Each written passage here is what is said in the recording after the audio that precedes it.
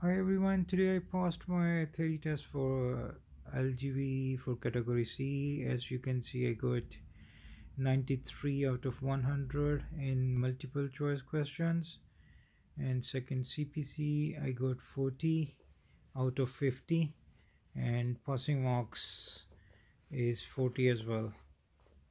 So you can see here, it's 40 out of 50 and next is hazard perception. Yeah in hazard i got 84 out of 100 and passing marks is 67 so yeah that's it. Okay then. Thanks for watching. Okay bye